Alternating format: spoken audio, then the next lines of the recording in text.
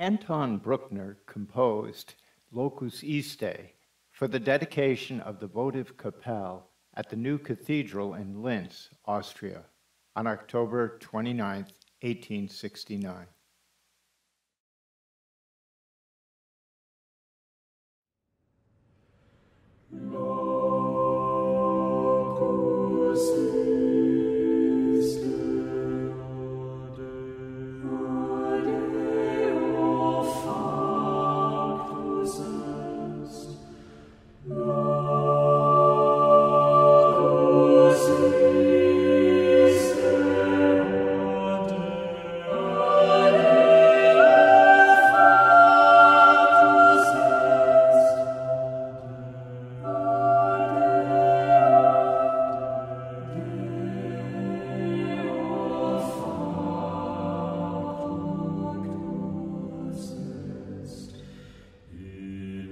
Yeah.